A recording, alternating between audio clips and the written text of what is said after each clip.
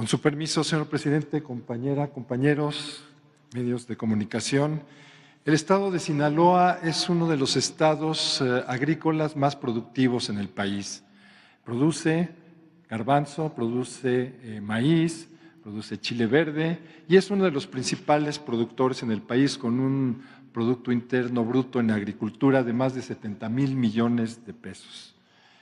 El estado de Sinaloa cuenta actualmente, antes de la presa Santa María, con 11 presas en funcionamiento y con la presa Santa María vamos a tener 12 presas, 12 grandes presas que van a almacenar más de 16.163 millones de metros cúbicos. Con la construcción de la presa Santa María se podrá abastecer agua a la zona sur de la entidad, estaba, era de las zonas más abandonadas, se podrá abastecer agua a la zona sur de la entidad para uso de riego, para uso público urbano y tiene un potencial para la generación de energía eléctrica. En Sinaloa también se ubican ocho distritos de riego. Con la construcción de la presa Santa María y su zona de riego se incrementará la superficie de riego a 24.250 hectáreas, con lo cual se contará con nueve distritos de riego. La siguiente, por favor. Los nueve distritos en conjunto abarcarán una superficie de 743 mil hectáreas en beneficio a 91 mil usuarios. La zona de riego participará con 24.250 hectáreas, principalmente en, eh, regadas con la presa Santa María. Hay otros desarrollos, que después hablaremos de ellos, en Picachos, que también incrementarán la superficie de riego en la zona sur del estado de Sinaloa, aprovechando el sistema de ríos Baluarte-Presidio. Adelante, por favor. Esta presa, con una inversión global de 9.659 millones de pesos, eh, en esta administración, en esta administración se invirtieron 7.318 millones de pesos. Beneficiará a 2.551 productores agrícolas, 90.000 habitantes con energía eléctrica y, generará empleo, y genera empleos de 4.083. En diciembre de 2020, esta administración, el presidente López Obrador, reinició su construcción resolviendo los problemas sociales heredados. En 37 meses se concluyó la construcción del 100% de la presa. Las características de esta presa es que va a almacenar a su nivel máximo de operación 811 millones de metros cúbicos, como decíamos, para riego de 24.250 hectáreas y también podrá controlar inundaciones y una generación hidroeléctrica media anual de 192 gigawatt hora. Adelante, por favor. Muchas gracias. Eh, le cedo la palabra a mi compañero Cédric Escalante.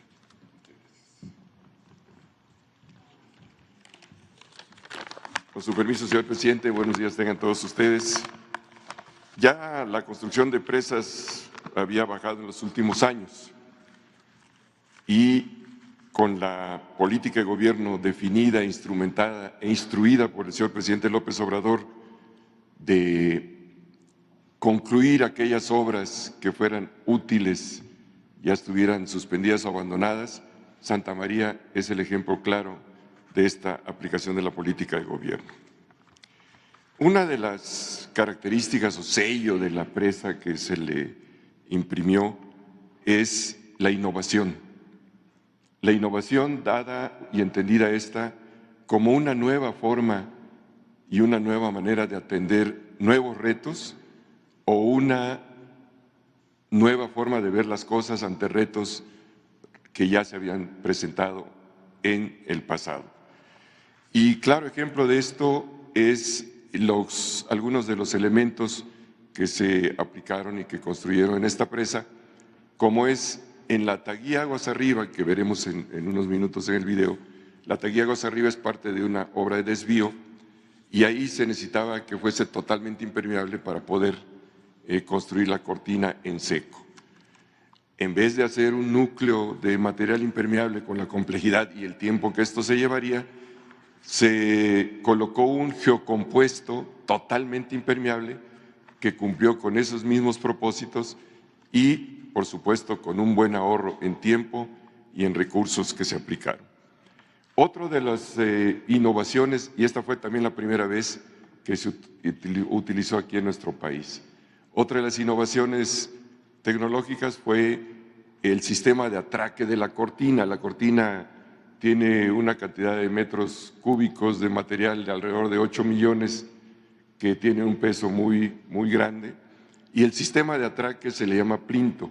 Sin embargo, las características donde estaba cimentada la, cortina nos eh, hicieron y nos forzaron a que hiciéramos un diseño por primera vez usado también en México que se llama plinto flotante. Estas dos características, así como tomadas de la mano de la tecnología, donde aplicamos modelos físicos, modelos matemáticos, que nos ayudaron antes y durante la construcción de la presa a tomar las mejores decisiones que hubo que tomar en su momento. la construcción de una presa tiene una complejidad bastante fuerte y eh, para la propia construcción pues fue necesario la participación de diversas disciplinas de la ingeniería, desde la planeación, lo que es la programación, sistemas, la geología, la geotecnia, la ingeniería mecánica, eléctrica, hasta la ambiental. En todo momento hay que hacer un reconocimiento a las y los ingenieros que trabajaron en esta obra, magna obra que nos permitió cumplir en tiempo y forma con los plazos que se habían establecido para ello. Valga mencionar que solamente la construcción de la taguía y la cortina, que son los elementos más importantes en términos de volumen y que equivalen, para que tengan una idea, a nueve templos del sol de la zona arqueológica de Teotihuacán, pues se construyeron en 26 meses. Y este para nosotros, pues definitivamente es un logro porque se eficientaron todos los procesos para llegar con estos, con estos tiempos a hacerlo muy adecuadamente. Hay que destacar aquí la excelente coordinación que se tuvo en todo momento con el gobierno del Estado, que nos estuvo apoyando en la ejecución de los trabajos y en especial para atender los problemas que se nos presentaron en durante su desarrollo, en especial los problemas de carácter social. Pero gracias a la participación de ellos, salimos en tiempo y forma con esto. También eh, tuvimos una muy buena coordinación con la Comisión Federal de Electricidad en la interfase, ya que la, presa Santa María, que es una presa de almacenamiento, proporcionará agua a la, a la hidroeléctrica que está construyendo la Comisión Federal de Electricidad. Es, hay que mencionar que en esta obra contamos con el apoyo de diversas instituciones, y que no tuvimos ninguna observación relevante por los distintos órganos fiscalizadores que se, eh, nos auditaron y nos han auditado en los últimos tiempos. También destacar que en esta obra trabajamos todos como un sistema, como un verdadero equipo de trabajo, dependencia, empresa, supervisión, tomando las decisiones que fueron necesarias tomar en el desarrollo de la misma de común acuerdo y buscando siempre la eficiencia en todos y cada uno de los procesos. Tengo que destacar, finalmente, señor presidente, que la ingeniería civil, los ingenieros civiles tenemos el compromiso de servir a la sociedad en la construcción de obras de esta naturaleza y de infraestructura, como la magna obra que se está construyendo aquí, que nos ha permitido señalar y demostrar que estamos participando en la transformación, en esta cuarta transformación, en beneficio de nuestro país y de todos los mexicanos. A continuación presentaríamos un video, con su permiso, señor presidente. La presa Santa María se encuentra sobre el cauce del río Baluarte, en el municipio de El Rosario, Sinaloa. El potencial hídrico del subsistema Baluarte-Presidio ha sido estudiado detalladamente como parte integral del Plan Hidráulico Interconectado del Noroeste, el cual determinó que la presa Santa María contaba con la factibilidad técnica, económica y ambiental para su ejecución. La construcción de la presa Santa María inició en el 2015. Sin embargo, sus trabajos fueron interrumpidos constantemente hasta quedar suspendida por completo. Debido a la utilidad social, económica y ambiental que aportaría a la región, el gobierno de México retomó esta obra inconclusa y procedió a la solución de las dificultades que impedían que se terminara, reanudando su construcción en diciembre de 2020. La obra tiene cuatro objetivos fundamentales. Primero, suministrar agua para el riego de 24.250 hectáreas, en beneficio de más de 2.500 productores. Segundo, permitir el abastecimiento de agua potable para casi 430.000 habitantes de los municipios de El Rosario y Escuinapa. Tercero, proteger a ambos municipios de inundaciones. Cuarto, generar energía eléctrica. Asimismo, su construcción considera tres tipos de obras. De desvío, integradas por tres túneles con las siguientes longitudes el túnel 1 de 705 metros, el túnel 2 de 781 metros y el túnel 3 de 856 metros. Dos de estos túneles son para la obra de desvío y uno para el equipamiento electromecánico, así como la ataguía aguas arriba con una altura de 46 metros y una ataguía aguas abajo con una altura de 9 metros. De contención, compuestas por una cortina de 123 metros de altura y 782 metros de largo, así como por diques de contención. Y las obras de excedencia, comprendidas por dos vertedores de cresta libre con longitudes de 484 y 477 metros y una capacidad de desfogue de 16.795 metros cúbicos por segundo de ambos. El equipamiento electromecánico del túnel 3 está integrado por dos sistemas de tubería, el primero para el desagüe de fondo de 104 metros de longitud, el segundo para la obra de toma de 300 metros de longitud. Asimismo, se cuenta con cinco válvulas para la operación y manejo del agua tanto de la obra de toma como del desagüe de fondo. Las técnicas constructivas del proyecto incluyeron el estudio de modelos geológicos del sitio de construcción, así como el banco de roca y del muro de carga del vertedor 1. También se realizaron pedraplenes de prueba que permitieron ratificar las proyecciones calculadas de materiales y contenido de humedad para lograr el grado de compactación de los materiales. Adicional a lo anterior, la cortina de la presa está instrumentada con sensores que permiten monitorear asentamientos de los materiales verificando que se encuentren dentro de los parámetros permitidos. Durante su construcción, se realizaron acciones de protección al ambiente, considerando el rescate de flora y fauna, habilitación de viveros, reforestación y manejo de desechos sólidos, entre otras. Con esta obra se generaron alrededor de 4.478 empleos durante su etapa de construcción, apoyando el desarrollo regional de la zona. La conclusión de esta presa refrenda el compromiso del Gobierno de México de impulsar el desarrollo agrícola en el país y de elevar la productividad del campo en la región sur de Sinaloa, con una visión integral y de inclusión social.